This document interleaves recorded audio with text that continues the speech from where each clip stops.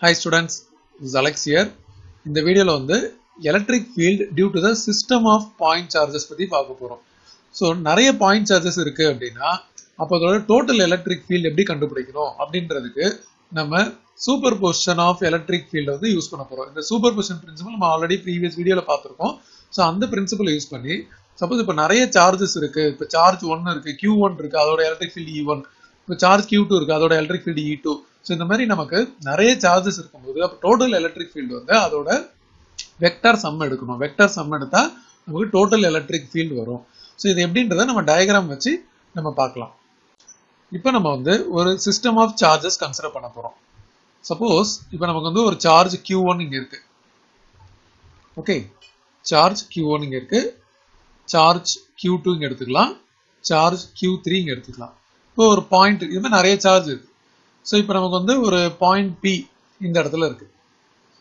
இப்போ இந்த பாயிண்ட் பியில் வந்து இந்த மூணு சார்ஜ் மூலமாக இருக்கிற டோட்டல் எலக்ட்ரிக் ஃபீல்டு வேணும். ஸோ இப்போ electric field due to Q one பார்த்தீங்கன்னா நம்ம இந்த மாதிரி கனெக்ட் பண்ணிடலாம். ஸோ இதான் வந்து கியூ ஒன்னோட கனெக்ட் ஆகுறது.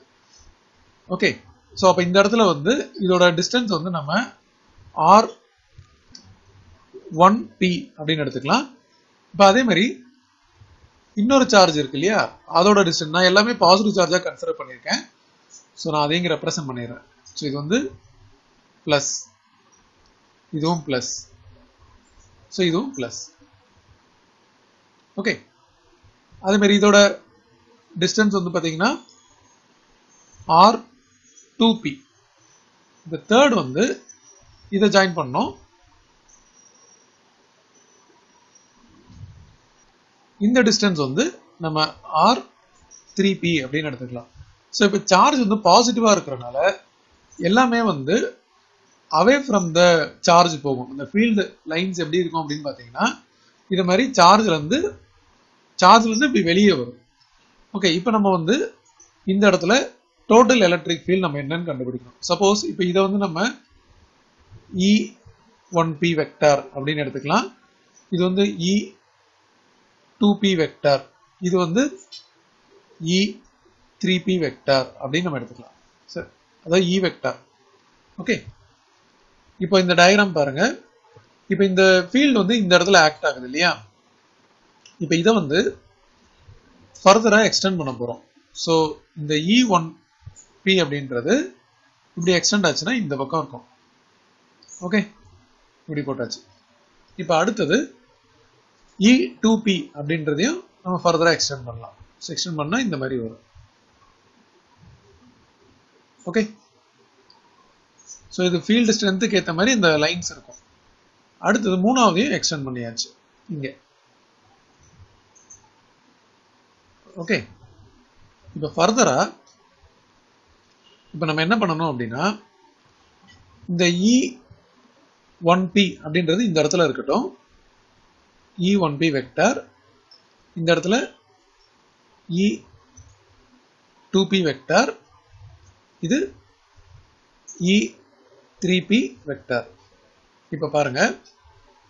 இந்த இ ஒன் பி இருக்கு இல்லையா அது அப்படியே இருக்கட்டும். இப்போ இ டூ பி இருக்கு. ஸோ இதுக்கு பேரலா நம்ம வந்து இந்த இடத்துல வரையணும். அப்போ நமக்கு இங்க ஆரம்பிச்சு இதுக்கு பேரலா இந்த மாதிரி வரும். அதே லென்த் நான் வரைஞ்சிருக்கேன்.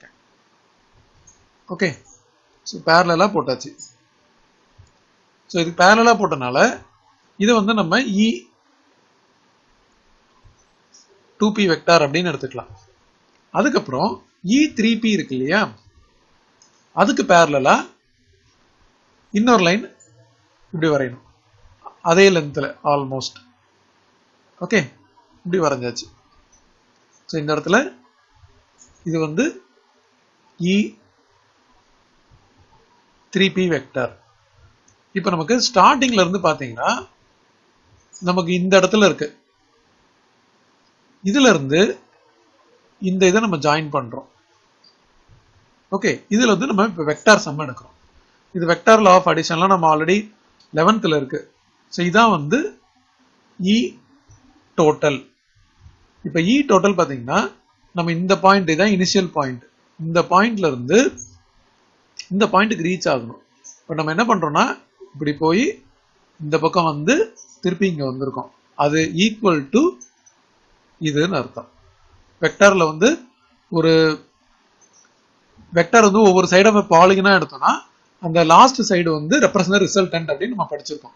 ஸோ இப்போ இதில் வந்து நம்ம e இ டோட்டல் அப்படின்னு எடுக்கும்போது இது வந்து E one P plus E two P plus E three P vector அப்படின்னு வரும். நான் இங்க மூணு சார்ஜ் எடுத்தனால இந்த மாதிரி வந்திருக்கு.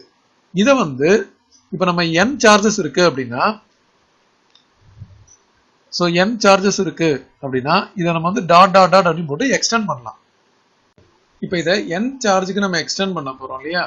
அப்போ இது வந்து நம்ம e இ டோட்டல் அதாவது e இ வெக்டார் வந்து E one P vector plus E two P vector plus E three P dot plus dot dot dot E அதாவது nth சார்ஜ் இப்போ ஒவ்வொன்றுத்துக்கும் நம்ம ஃபார்முலா அப்ளை பண்ண போகிறோம் இது one by four pi epsilon naught இது charge Q one by அதோட distance R one P square R one P cap அதே மாதிரி அடுத்தது வந்து one by four pi epsilon naught Q two by R two P square into R two P cap அதே மாதிரி dot dot dot போயிட்டு last இடம் வந்து one by four pi epsilon naught charge Q N இது R N P square R N P cap அப்படின்னு வரும்.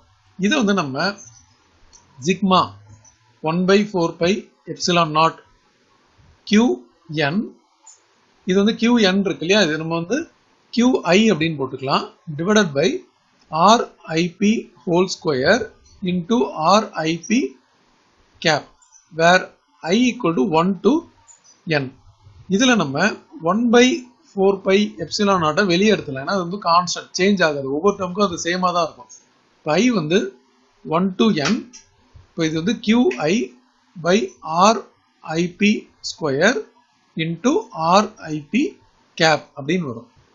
இதுதான் நமக்கு vector sum of the electric field created by the individual point charges so இந்த superposition of electric field அப்படின்றது தான் resultant field அதாவது total electric field வந்து vector sum of the individual field due to the individual charges so அதோட expression தான் இது.